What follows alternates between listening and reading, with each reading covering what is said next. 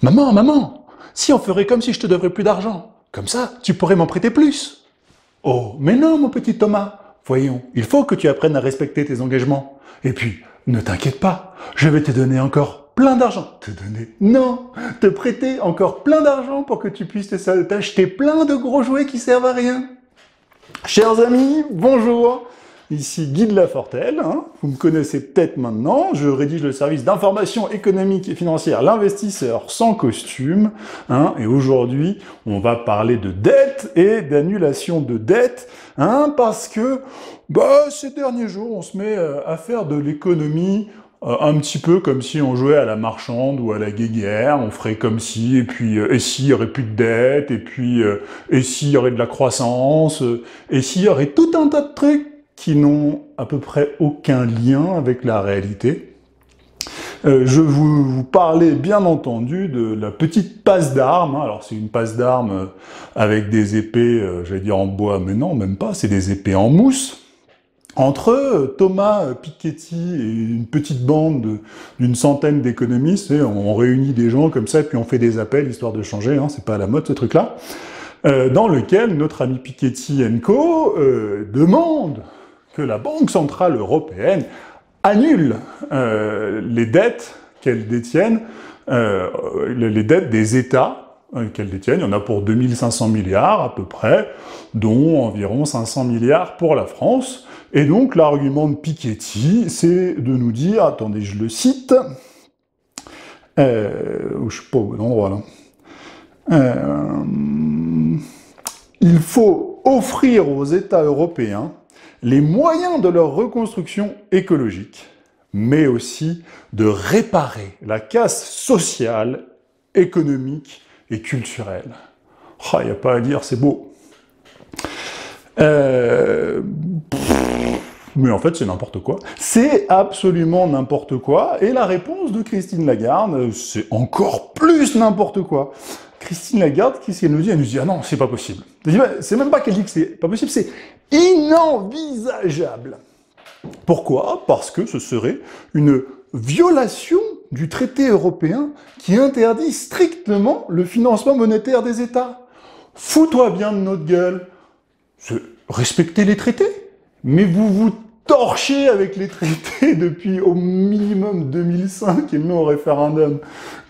ça aussi, j'ai noté un petit peu. Qu'est-ce que, de quoi? Donc la Constitution européenne, hein, qui nous tombe dessus euh, alors que vous avez un non au référendum. Sauvetage de la Grèce, ça aussi c'était interdit dans les traités.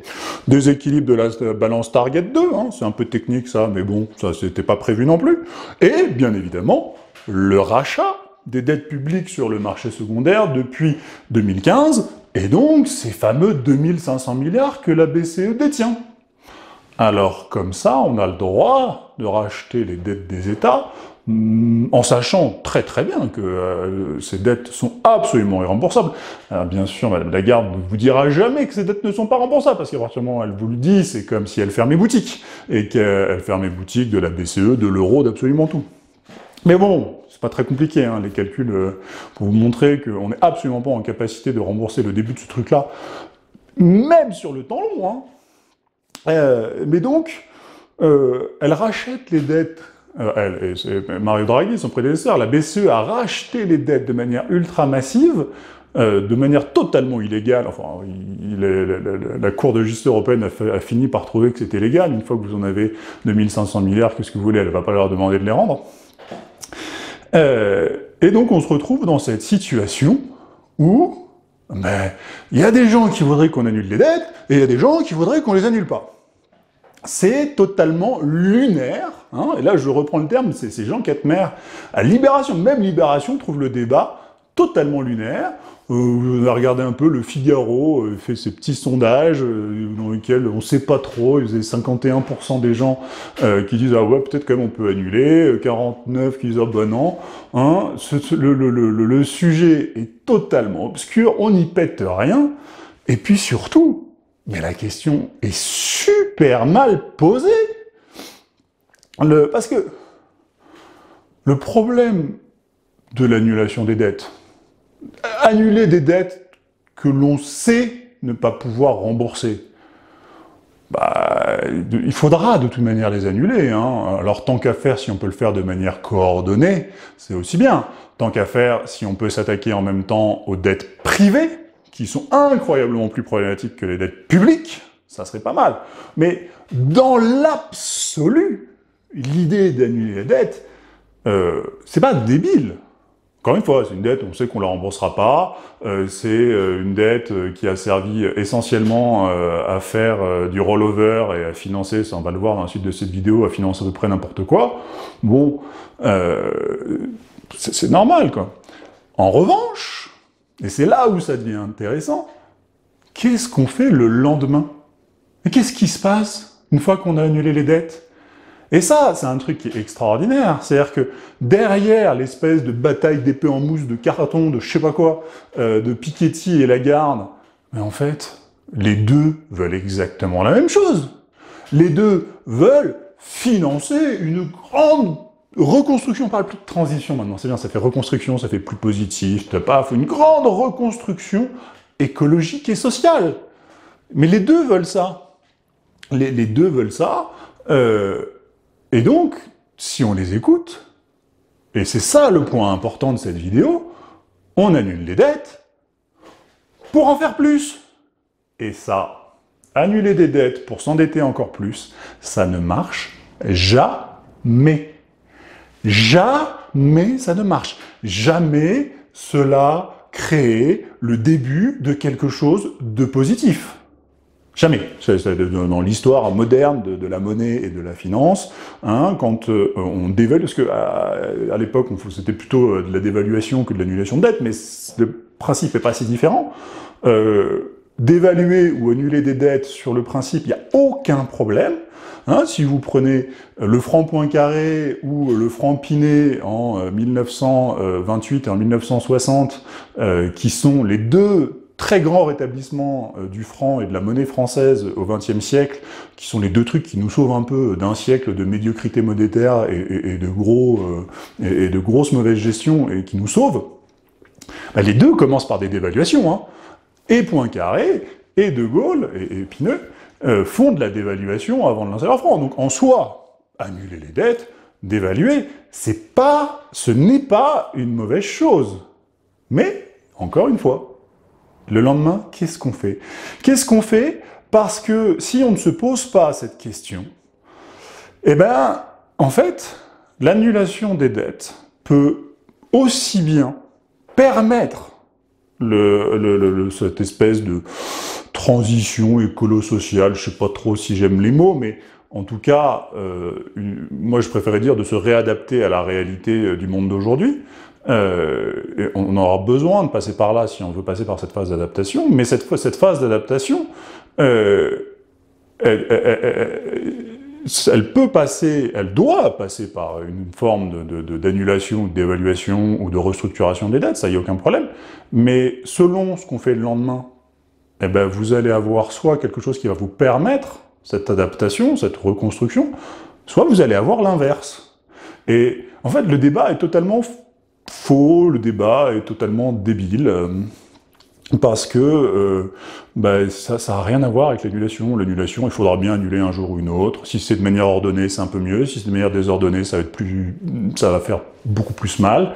Euh, donc à la limite, le fait de vouloir le faire de manière ordonnée, c'est bien. Sauf que là, le fait de vouloir derrière dépenser encore plus, ça c'est une très très très mauvaise idée. Et c'est une très très très mauvaise idée parce que eh ben, aujourd'hui, ou même depuis un an, hein, les, milliards euh, de dettes qui ont été émises dans la zone euro, et en particulier en France, qu'elles soient publiques ou privées d'ailleurs, et qui ont été financées, je le rappelle, par euh, Christine Lagarde et la BCE à 90%, hein, à 60% directement ils ont racheté les titres, et à 30% euh, ils ont euh, soutenu les banques européennes qui n'existeraient plus sans le soutien absolument massif de la BCE. Donc, si vous voulez, l'endettement,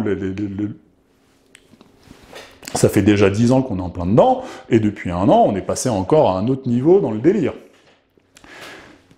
Et ça fait pas du tout de la transition euh, écologique, et ça fait pas du tout, euh, ça fait pas du tout du social, hein, ces trucs-là. Un petit peu, j'exagère sur le social, mais l'essentiel euh, de ces crédits, ça va quand même dans un truc qui s'appelle les non-performing loans, les crédits non performants. Alors ça, je suis désolé, hein, c'est faut faire joli, c'est un peu à la BCE. C'est ce qu'on appelle plus généralement dans la presse, même spécialisée, ça va dans des entreprises zombies, tous ces crédits, et dans un état zombie. Et des entreprises zombies, un état zombie, hein, ça a une définition, c'est assez simple, ce sont des structures ou des organisations qui ne tiennent que par euh, la dette et l'augmentation perpétuelle de la dette et du crédit. C'est-à-dire que ce sont des organisations qui consomment c'est très important ces mots-là, qui consomment plus de ressources, que ce soit de la main-d'œuvre, du temps que nous on consacre à faire des choses, ou de l'énergie, ou tout un tas de ressources immobilières, euh, et c'est consomment plus de ressources qu'elles ne créent de richesse. Parce que on a un peu oublié toutes ces choses-là, mais la définition d'une entreprise, c'est quand même hein, de faire du profit et euh, du profit pour une raison sociale, c'est-à-dire faire du profit en étant utile à la société. C'est ça la définition d'une entreprise, hein. profit et utilité. Et le profit, qu'est-ce que c'est au fin du fin le profit quand vous êtes dans un système qui fonctionne à peu près correctement? Le profit, ça veut dire que vous avez euh, consommé euh, des ressources à l'entrée et vous avez produit une richesse à la sortie. Le profit, ça veut dire que la richesse que vous avez produite a plus de valeur que les ressources que vous avez consommées. Et donc, a priori, une entreprise qui fait pas de profit, alors euh, conjoncturellement, vous pouvez passer de mauvais passe, mais des entreprises comme les, entreprises zombies, il y en avait pour 900 milliards euh, en 2019, on doit probablement être au double aujourd'hui, donc quand vous avez des secteurs entiers qui ne produisent, euh, qui produisent moins de richesses qu'elles ne consomment de ressources, c'est l'inverse de, de, de, de, ce que ces gens semblent appeler de la reconstruction écologique ou euh, en tout cas une approche euh, écolo-consciente et, et, même socialement consciente parce que le, le, quand, quand enfin c'est très pénible de travailler dans des sociétés qui dans des sociétés zombies qui ne créent pas de valeur, qui ne créent pas de richesse, qui créent pas de sens, qui, qui, sont pas utiles à la société. Les gens le savent très bien quand les choses sont plus utiles à la société. Il n'y a pas besoin de les enfumer. Hein. et donc jusqu'à présent euh, ces crédits, cette dette a été énormément utilisée pour aller financer directement ou indirectement euh, ces entreprises zombies. Alors vous allez me dire, attention, là on parle, euh, là on parle de, de, de, de, dette publique, on parle pas de dette privée, c'est pas la même chose. Euh, il faut bien voir que aujourd'hui, la dette publique et la dette privée sont difficilement dissociables. Elles sont difficilement dissociables parce que l'État, l'essentiel de, l'essentiel de, du coût du fonctionnement de l'État aujourd'hui, c'est la redistribution. Hein. C'est pas, euh, c'est pas les policiers, euh, c'est pas euh, les hôpitaux, c'est pas les routes, euh, c'est même pas les gouvernements, c'est même pas les, les fonctionnaires, c'est même pas toutes ces choses-là, qui en fait sont assez pressurisés depuis une dizaine d'années parce qu'il faut faire de la place pour la redistribution. Ce qui coûte une méga blinde, c'est la redistribution. Ce sont nos modèles sociaux qui ne fonctionnent pas. Et nos modèles sociaux ne fonctionnent pas. Pourquoi? Parce que, aujourd'hui, euh, vous avez deux énormes problèmes en France qui sont des problèmes d'ordre privé et qui sont compensés par l'État. Le premier problème, c'est que vous avez une mauvaise répartition de la valeur ajoutée euh, dans, des entreprises, c'est-à-dire que vous avez une trop forte allocation euh, des, bénéfices de, la valeur, vous avez une trop forte allocation de la valeur ajoutée, c'est pas tout à fait la même chose que les bénéfices, euh, envers le capital et pas, pas assez envers les salaires. Hein, c'est quelque chose que je répète régulièrement. Si vous aviez la répartition de la valeur ajoutée de 1980, vous auriez 200 milliards de salaires en plus en France. Et 200 milliards de salaires en plus, c'est autant de redistribution, ou presque autant de redistribution à moins en faire. C'est la première chose. Et la deuxième chose, euh, ben, quand vous avez des entreprises zombies qui vous pourrissent euh, vos économies, qui vous pourrissent des secteurs entiers parce qu'elles prennent de la place, parce qu'elles asphyxient tout le reste, et eh bien en fait, vous vous retrouvez avec des économies qui ne fonctionnent pas, qui sont pas fonctionnelles, et dans lesquelles vous n'avez pas de travail en fait. Aujourd'hui, le problème, c'est pas qu'on n'a pas de travailleurs, c'est qu'on n'a pas de travail. Quand vous voyez la manière dont euh, Uber et, Uber Eats euh, sont capables de mobiliser des gens qui font un travail de chien payé pour rien, ou à peu près, C'est pas la main-d'œuvre qui manque hein, en France. Ce qui manque, en revanche, euh, c'est la protection du travail et le fait d'être capable de fournir du travail euh, aux gens. Euh, et ça, si vous voulez, j'habite en Suisse. Bon, ben en Suisse, vous avez 60% de la population qui travaille, 58. Là, je parle de, de, de, la naissance à la mort. Sur toute la population, vous avez 58% de la population à peu près qui travaille. En France, vous êtes à 40, peut-être 42. Et c'est absolument monumental. Et donc ça, pareil, c'est des choses qui doivent être compensées par l'État. Et ce qu'il faut bien voir aujourd'hui, c'est que euh, cette manière de vouloir euh, solvabiliser l'État à tout prix, indirectement, c'est une manière euh, de garder le statu quo d'un secteur économique privé totalement dysfonctionnel.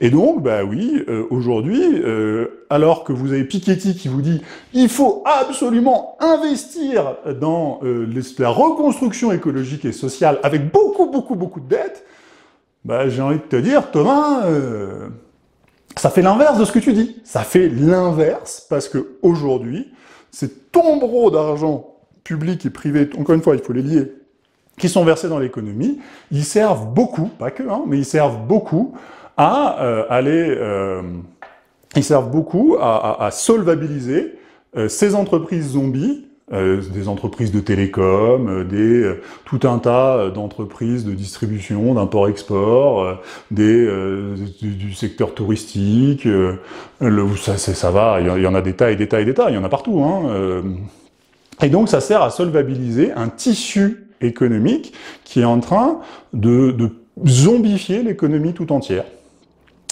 Euh, et, euh, et, du coup, bah, si euh, l'argent euh, continue à aller là-dedans, et a priori, je vois pas pourquoi il arrêterait d'aller là-dedans.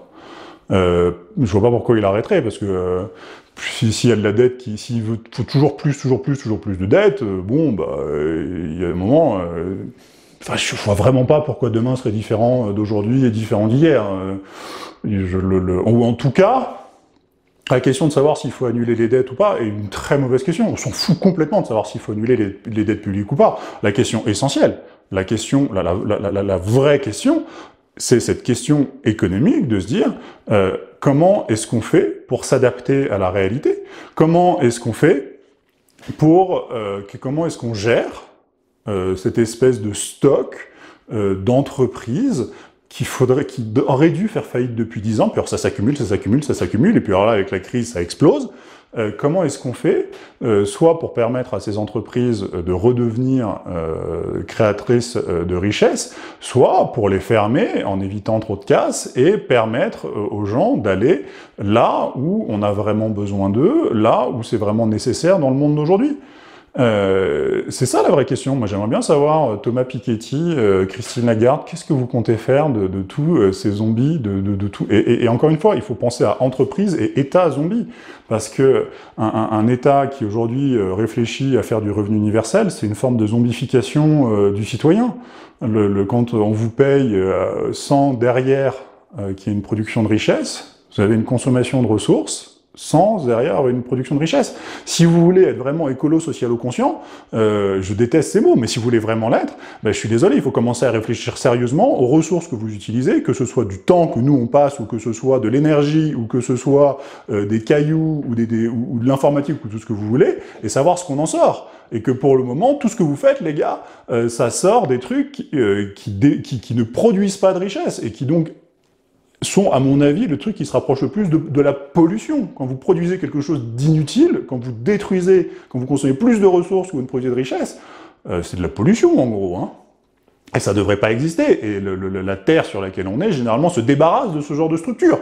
Qu'elles qu soient des structures économiques et sociales humaines, ou que ce soit juste dans le monde naturel. Euh, et généralement, euh, plus ça tarde, plus c'est violent. Donc la vraie question, c'est ça. Qu'est-ce qu'on fait de ces structures-là? Et comment est-ce qu'on fait, si demain on annule la dette, comment est-ce qu'on fait pour rétablir euh, un, monde euh, normalisé dans lequel on arrête de l'endettement permanent? C'est ça la question. Comment est-ce qu'on arrête de s'endetter? Parce qu'aujourd'hui, l'endettement, vous voulez que ça finance une grande transition euh, écologique, oh, ça fait l'inverse. Ça fait exactement l'inverse. Et ça fait d'autant plus l'inverse que euh, les cocos, et là, vous avez vraiment Lagarde et Piketty, même combat. Hein. C'est vraiment, c'est la mise en scène pour cacher l'enjeu réel qui est euh, vraiment ce, ce, qui est ce combat pour euh, ce qu'on fait de l'économie réelle. Euh, et, quand ils vous revendent comme ça de la grande reconstruction, de la grande relance keynésienne et de la grande croissance verte, la grande croissance verte, c'est n'importe quoi. La croissance verte n'existe pas. C'est un oxymore.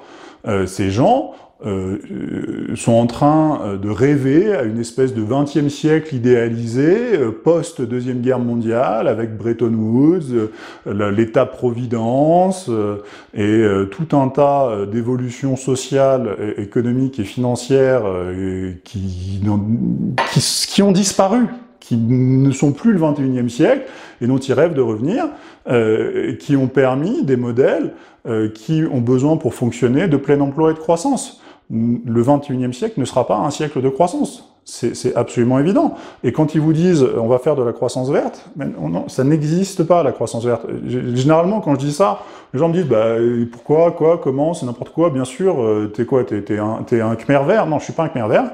La seule chose que je dis, c'est que vous prenez les camions Tesla. truc, et, je suis pas un, très grand fan de Tesla, euh, les, les camions Tesla sont pas inintéressants euh, dans l'approche.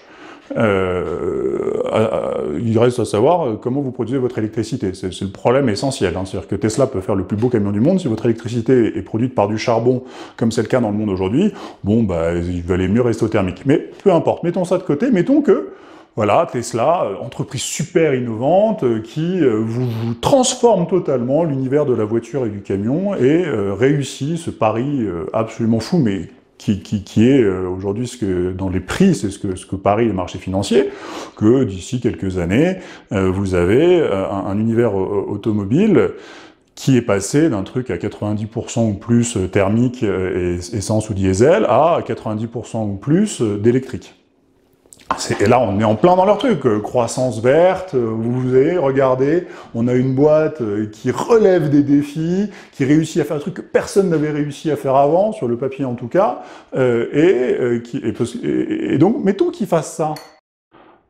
Bon, ben on pourrait se dire, après tout, euh, vous avez, le train a bien remplacé la diligence, le moteur à explosion a bien remplacé la voiture à cheval. Bon, bah peut-être que euh, le, la voiture et le camion électrique vont remplacer euh, la, voiture et le camion diesel et, à essence. Sauf que il y a une différence absolument monumentale entre les deux.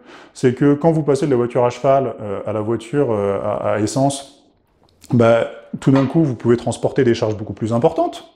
Vous pouvez aller beaucoup plus vite, beaucoup plus loin avec beaucoup moins d'efforts, pour beaucoup moins cher. Tout d'un coup, vous ouvrez des, horizons économiques extraordinaires. Tout d'un coup, vous pouvez faire des choses que vous ne pouviez pas faire avant. Le camion Tesla, au mieux, il fait la même chose que le camion Volvo. Donc vous n'ouvrez pas d'horizon économique avec le camion Tesla. Donc vous ne faites pas de croissance, vous n'ouvrez pas de perspective de croissance. Ce que vous faites, en revanche, vous faites un transfert vous faites un transfert, euh, de, vous faites un transfert de valeur et la, valeur est transférée d'un truc à un autre. Je dis pas que c'est mal, hein. peut-être que c'est ce qu'il faut, peut-être pas. Moi, encore une fois, le jour où vous m'expliquez comment vous produisez euh, l'électricité pour tout ça, euh, peut-être je suis d'accord, mais jusqu'à présent, euh, une, une, voiture qui marche au charbon, ça me plaît pas beaucoup. Et donc, là, je vous ai pris l'exemple de Tesla. Mais c'est vrai pour absolument tout. C'est-à-dire que c'est vrai à partir du moment où euh, vous êtes dans une euh, dans une approche de transition écologique et sociale, euh, vous êtes plus dans un monde de croissance. Et parce que il y a un moment, la croissance, ça sort pas de la tour de la BCE ou de la tour de la Fed. Ça vient pas de là la croissance. La croissance, la croissance économique hein, est un sous-produit de la consommation énergétique et de la croissance démographique. Retenez bien ça, hein, parce que ça, c'est un truc, euh, c'est... La croissance économique est un sous-produit euh, de la consommation d'énergie et de la croissance démographique.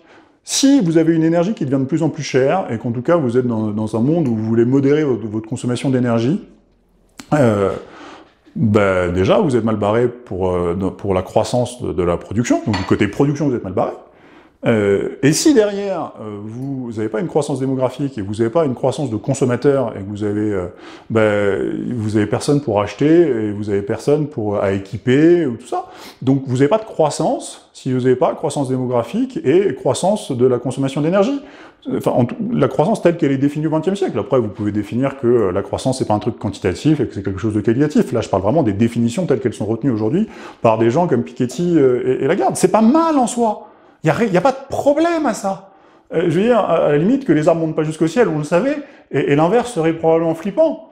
Le problème, c'est que tous ces gens, en fait, sont des gros réacs, hein, les, gros progressistes de, de, Piketty et euh, Lagarde, qui doit se trouver qu'elle est très progressiste aussi, sont en fait des énormes réacs qui rêvent de revenir à un 20e siècle idéalisé qui n'existe plus, dans lequel vous avez de la croissance économique, parce que vous, avez, euh, après la Deuxième Guerre mondiale, euh, vous avez les Trente Glorieuses, vous avez le baby-boom, euh, vous avez, vous avez le, le, le le pétrole qui, euh, qui, rentre à fond euh, et qui permet d'avoir de la croissance de la consommation énergétique de dingue, et que ça vous permet tout ça, et qu'on a construit, euh, on a construit des structures sur cette base-là, que cette base a disparu et qu'on veut conserver les structures. Ça ne marche pas. Ça ne marche pas, et du coup, ben, en fait, cette affaire-là, c'est en train de nous montrer que ces gens, Enfin, déjà, le, la vieille confrontation euh, de faut annuler, faut pas annuler les dettes, et en passant, pardon, je fais juste une petite parenthèse, si la garde voulait annuler les, euh, la, la, dette,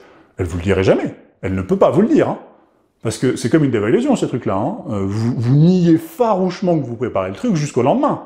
Parce que sinon, ça rate l'opération. Donc, ne croyez surtout pas que la BCE est contre, euh, est, est contre ce, ce, genre de, de truc. C'est juste qu'elle ne peut pas vous le dire. C'est encore une fois, c'est comme une dévaluation. Euh, donc, probablement que ces gens-là sont en train de préparer un truc qui ressemble à ça, euh, mais ça fait exactement l'inverse de ce qu'ils prétendent. Ce truc-là, ça détruit ce que ça prétend protéger, et euh, ça, vous, met des, chaussures de plomb dans le passé, au lieu de vous projeter dans l'avenir. Un avenir, et, quand je parle d'avenir, c'est pas, c'est pas un avenir de, progrès idéalisé. Sais pas ce que c'est que le progrès. Si le progrès, c'est d'avoir une voiture qui va toujours plus vite, toujours plus fort, toujours plus grosse, toujours plus confortable et tout ça. Moi, ça, ça me, c'est pas mon gros kiff, euh, si vous voulez. si en revanche, le progrès, c'est ah peut-être de retrouver euh, des aliments sains, euh, de retrouver des rythmes de vie sains, de retrouver euh, une forme de, de, vie un peu plus calme. ça, pourquoi pas, si vous voulez. Mais cette espèce de, de, progrès du XXe siècle, cette espèce, ces gens qui sont englués euh, dans, dans, le XXe siècle, euh, c'est des gros réactionnaires en fait, ces gars. C'est des gros réactionnaires et qui euh, échouent à, à s'adapter à la réalité aujourd'hui, cette réalité qui est, est changée radicalement. Et aujourd'hui, le, le, les stratégies monétaires de ces gens-là, qui encore une fois ne s'opposent absolument pas, Piketty et les gardes, c'est vraiment la même chose, ces stratégies monétaires, aujourd'hui font l'inverse de ce qu'elles prétendent, parce que, euh, ça parce que euh, la monnaie masque la nécessité de s'adapter. Et je vais juste terminer cette vidéo qui est déjà encore trop longue, je suis désolé, un jour je ferai des vidéos courtes, euh, parce que vous allez me dire, bah d'accord, mais là, faut qu'est-ce qu'on fait? Et je voudrais juste vous parler un instant, euh, je vous ai dit dans, cette vidéo qu'il euh, y a deux grands rétablissements monétaires en France au XXe siècle, c'est le franc Poincaré et le franc Pinet, le, franc fort, sous De Gaulle en 60. Moi, j'avais envie de, revenir un peu sur le franc Poincaré, euh, parce que c'est un truc qu'on a tous oublié, plus personne connaît le franc Poincaré. Euh, mais, mais non seulement l'époque euh, est une époque à peu près aussi troublée qu'aujourd'hui, c'est une époque dans laquelle on a besoin de solder le monde d'avant la Première Guerre mondiale, il faut s'adapter à la nouvelle réalité du monde de, qu'on a hérité après la Première Guerre mondiale, et qu'on a les mêmes genres de questions qui se posent euh, entre euh, des gens qui veulent revenir à un passé idéalisé et d'autres qui, euh, je sais pas ce qu'ils veulent, mais qui à la fin acceptent euh, la dure réalité de la vie. Et euh, tout d'abord, la première chose, quand on regarde, et le front Poincaré, encore une fois, alors il arrive en 1928, euh, donc on peut se dire, bah oui, enfin bon, vous avez la crise de 29 l'année d'après, ouais, enfin, le front Poincaré a quand même réussi euh, à, à, faire reculer euh, l'entrée de la France dans la crise de au moins 3, peut-être 4 ans, euh, et ça, ça, a permis des choses assez extraordinaires, le front Poincaré. Et quand on regarde ce qu'a fait Poincaré, c'est à peu près l'inverse euh, de ce qu'ont en tête euh, cette espèce de couple infernal de Piketty-Lagarde et des Macron et des Le Maire et de tous ces gens-là. Déjà, la première chose, le Front Poincaré, c'est pas neutre, hein, c'est l'œuvre d'un chef. C'est l'œuvre d'un chef qui est populaire et qui est respecté. On est, mais à 10 000 kilomètres de ces espèces de technocrates tout gris, interchangeables, que personne n'aime, qui nous font chier, pardon, mais c'est le cas. Euh, ensuite, vous avez effectivement une dévaluation monétaire, ce point carré. Donc, euh, encore une fois, moi, le principe de l'annulation de la dette, je m'en fous un peu. Euh, et dans ce rétablissement du franc point carré, vous avez une dévaluation. Donc quand on vous dit euh, on peut pas annuler la dette parce que ah là là on va devenir c'est accepter la faillite et c'est devenir insolvable, c'est n'importe quoi. Mais elle est dévaluée et la convertibilité or est rétablie. C'est-à-dire qu'on n'est pas du tout dans cette espèce de fuite en avant où on fait toujours plus de toujours plus de dettes. Non, là tout d'un coup, vous avez paf, convertibilité or qui est rétablie. Et surtout, euh, vous avez une préparation de près de deux ans pour arriver euh, à ce franc point carré, euh, et vous avez le terrain est préparé. Il est préparé de différentes manières. J'ai noté, vous avez déjà les taux d'intérêt sont relevés. Hmm, le, le, jour où, ces gens accepteront de, relever les taux d'intérêt. Alors le problème, c'est qu'aujourd'hui, on est arrivé à un stade où ça, fait beaucoup, beaucoup de mal. Donc moi, je peux vous assurer que les taux d'intérêt seront jamais relevés. Euh, jamais, en tout cas, de manière ordonnée, coordonnée et, recherchée. Donc là, euh, mais les taux d'intérêt sont relevés sous point carré, et ça avait fait beaucoup. À l'époque, tout le monde pensait que ces taux d'intérêt, euh, que l'argent cher allait faire la vie chère. Hein. C'est un truc, euh, l'argent cher fait la vie chère. C'est faux. C'est faux. Si on vous dit ah ben non, on peut pas relever les taux d'intérêt parce que ça va mettre tout le monde en faillite, non, c'est faux. C'est pas vrai. C'est beaucoup plus compliqué que ça. Euh, les comptes sont équilibrés. Hein, les comptes de l'État sont équilibrés euh, afin de stabiliser la monnaie, et donc les comptes sont équilibrés comment? Ben Déjà, oui, les revenus de l'État sont considérablement augmentés. Alors probablement qu'aujourd'hui, euh, c'est pas le problème d'augmenter les revenus de l'État parce qu'on n'est pas au même, on n'est pas en 1926-28. Mais bon, vous avez des droits de douane qui sont relevés jusqu'à un facteur 6. Hein allez nous mettre des droits de douane qu'on rigole un peu. J'attends de voir. Vous avez la création de monopoles d'État, notamment vous avez les allumettes, euh, qui assurent des nouvelles rentrées. Vous avez une forte, très très forte augmentation des impôts sur le capital euh, immobilier et mobilier, et diminution euh, de, au contraire, de l'impôt sur le revenu. Euh, alors aujourd'hui, on n'est pas dans la même situation, euh, parce que aujourd'hui, il s'agit pas, il faut pas taxer le capital, c'est juste qu'il y a trop de capital. Il faut accepter de détruire le capital. En revanche, cette idée de rééquilibrer euh, de rééquilibrer la, répartition de la valeur ajoutée et de, favoriser le, salaire par rapport au capital, on est en plein dedans. On est en plein dedans. Euh, et voilà, puis après vous avez un certain nombre de taxes à la consommation. Encore une fois, on est à une époque où on n'est pas du tout, euh, on n'a pas du tout le niveau de taxation publique qu'on est aujourd'hui. Mais ce qui est important, c'est qu'on équilibre les comptes. Euh, on équilibre les comptes, on rééquilibre la répartition de la valeur ajoutée entre le capital et le travail, et on fait ce qu'il faut, on fait les choses qui sont difficiles, on remet des droits de douane et c'est pas et, si jamais il y, a, parfois une vague idée qui dit que c'est euh, le, protectionnisme qui a entraîné la, crise de 29, allez lire Paul Béroc, c'est faux. Hein. ce truc n'a jamais, c'est pas le protectionnisme qui a entraîné la crise de 29. Au contraire, en l'occurrence, euh, les mesures de Poincaré ont plutôt permis à la France euh, de résister à la crise. Bref, on a cette situation qui est une situation qui est l'inverse de celle dans laquelle on, est aujourd'hui. Alors c'est sûr que euh, je dis pas est-ce qu'il faudrait faire ça Bah oui, ça serait ça serait mieux si on avait un chef qui était capable de prendre des décisions difficiles avec l'autorité et le respect qui font qu'on les accepte. Parce que euh, quand euh, Poincaré euh, crée des monopoles d'État, qui étaient des mesures de gauche très radicales pour l'époque, bon, bah, si la gauche avait essayé de faire ça, ou quand il augmente les impôts sur le capital, si la gauche avait essayé de faire ça, ça, ne serait jamais passé. Ce qu'il faut voir, c'est que Poincaré, il prend des mesures absolument partout. Il fait ce qu'il y a à faire. Il n'est pas dans de la politique en disant, ah ben non, ça c'est une mesure de gauche, je peux pas la faire, ça c'est une mesure de droite, je peux pas la faire. Il est juste en train de réadapter la société française, l'économie française et la vie politique française au monde nouveau qui émerge euh, après, la, la, après la Première Guerre mondiale. Bon, bah aujourd'hui, nous, il faudrait qu'on s'adapte au monde nouveau, qui est ce 21e siècle, qui est un monde euh, de, de, de, croissance disparue.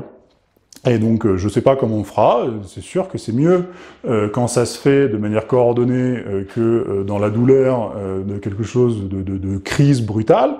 mais ce qui est certain, c'est que ce qui propose aujourd'hui, ça fait pas ça ça fait pas ça, ça fait l'inverse de ça, c'est un espèce de rideau de fumée pour cacher les vraies questions, les vrais, euh, là où pourraient se trouver les vraies solutions, et que euh, vraiment, cette manière de discuter sur l'annulation ou non de la dette, c'est du pipi de chat, euh, et, c'est... Ouais, c'est on ferait comme si, on joue, on joue à la marchande, on joue à la guéguerre, et tout ça n'a aucune base de réel, tout ça est absolument terrifiant. Et donc, euh, comme d'habitude, euh, je sais que j'aime bien donner des petits conseils à la fin. Encore une fois, vous voyez que ces questions-là, on est sur le monétaire, euh, on est sur des attaques qui sont structurellement en train d'affaiblir de, ou de détruire nos monnaies.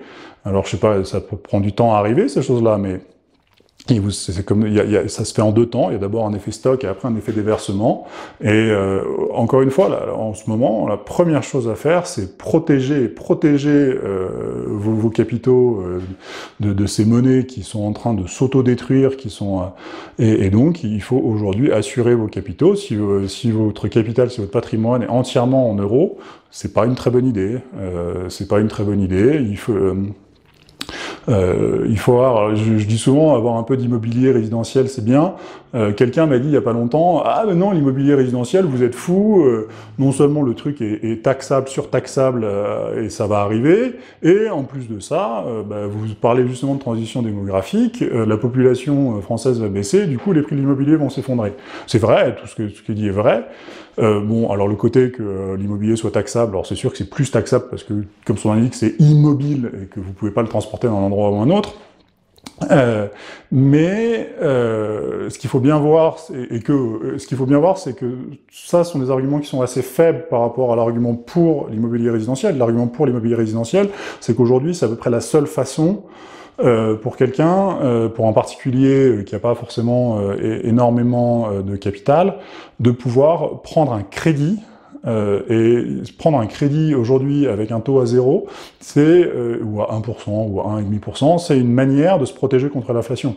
Euh, c'est une manière de se protéger contre la destruction de la monnaie. C'est ça aujourd'hui dont, dont, dont, je parle. Et que euh, oui, bien sûr que tout monde sait que euh, à un moment, la, la, la, la, transition démographique va probablement peser sur les prix immobiliers. Mais là, le problème beaucoup plus urgent, et c'est encore une fois, un problème monétaire. Et, et aujourd'hui, oui, la pierre, la pierre est en train de redevenir euh, un, réservoir de valeur pour éviter euh, les problèmes euh, de, de, de, de, destruction monétaire, qu'elle soit par annulation de dette, dévaluation ou, ou, ou, inflation, hyperinflation. Donc immobilier, résidentiel, euh, donc or, pas à Paris, hein, l'immobilier, euh, or, bien évidemment, hein, c'est l'or, c'est ce qui reste quand il n'y a plus rien. Physique aussi, bien évidemment. Euh, alors vous avez des gens qui disent, bah oui, justement, euh, comme la monnaie est en train d'être, euh, la, la, la, monnaie est mal en point, il faut investir dans le réel, il faut investir dans des entreprises. Alors je suis tout à fait d'accord aussi, et puis derrière, vous dites, bah du coup, faut que vous alliez investir en bourse. Là, je suis moins d'accord. Je suis pas. Euh, les bourses pour moi sont à des niveaux de valorisation qui sont totalement euh, aberrants. Euh, donc, investir dans des entreprises locales près de chez vous, faire des prêts, des, des, des, des des prêts aux entreprises par des prêts participatifs, euh, investir dans un tissu local, oui. Euh, en bourse, euh, la bourse aujourd'hui est quand même très largement devenue une espèce de, de Ouais, c'est un piège, c'est un piège à petit épargnant. Le, moi, je, je, vous avoue que je suis assez terrifié de voir qu'en France, vous avez 400 000 nouveaux investisseurs en bourse qui sont arrivés depuis un an.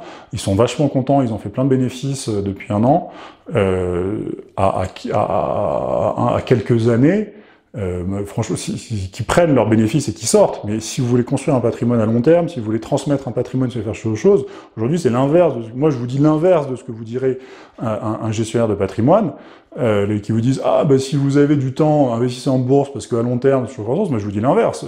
Aujourd'hui, les horizons boursiers à long terme sont difficiles. Alors que vous ayez un petit peu euh, en bourse, parce que bon, voilà, si vous avez 40% une année, ça peut continuer quelques années, que vous prenez des profits qui en est un peu pour rigoler, pourquoi pas, que vous ayez euh, quelques secteurs qui résistent et quelques secteurs intéressants, il y a toujours des exceptions, mais euh, acheter un, un tracker du CAC 40, Aujourd'hui, ça, ça, à, l'échelle de quelques années, euh, ça me paraît être une très très très mauvaise idée parce que euh, aujourd'hui les valorisations boursières sont totalement déconnectées de la réalité et euh, non seulement vous risquez de vous faire rincer très très très sévèrement, mais en plus, à mon avis, c'est totalement immoral parce que vous allez encore gonfler ce problème de mauvaise répartition entre le capital et le travail. Donc voilà, euh, c'était mes quelques conseils. Cette vidéo, comme d'habitude, est beaucoup trop longue. J'essaierai la prochaine fois de faire plus court. J'espère en tout cas qu'elle vous a plu. Mettez-lui euh, un pouce bleu, abonnez-vous euh, à la chaîne, commentez surtout cette longue vidéo, ça m'intéresse, ça comme moi, ça m'aide à moi à préparer mes suivantes. Et je vous dis à votre bonne fortune.